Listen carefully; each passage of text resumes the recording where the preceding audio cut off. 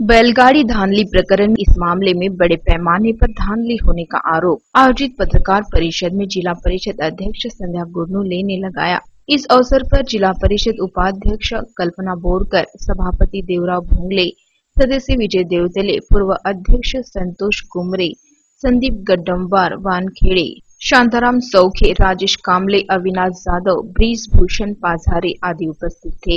उन्होंने कहा कि सरकार द्वारा अनुसूचित जाति जमाति के किसानों को जिला परिषद द्वारा बैलगाड़ियों को वितरण करने का कार्य जिला कृषि विभाग तथा समाज कल्याण विभाग द्वारा किया गया। कृषि विभाग द्वारा एक हज़ार चार सौ इकहत्तर तथा समाज कल्याण विभाग द्वारा 309 बैलगाड़ियों की आपूर्ति की गई। यह बैलगाड़ियाँ निकृष्ट दर्जे की होने की शिकायत जिला परिषद सदस्य अविनाश जाधव द्वारा 21 अगस्त 2015 को की गई थी, जिसके बाद 15 अक्टूबर 2015 को इस मामले की जाँच करने की समिति गठित की गई।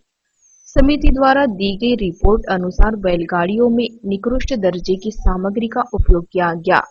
अधिकारियों द्वारा इन बैलगाड़ियों की जाँच न करते हुए इसका वितरण किया गया। इस मामले में बड़े पैमाने पर धांधली होकर संबंधित अधिकारियों को निलंबन करने का प्रस्ताव विशेष सभा में पास किया गया।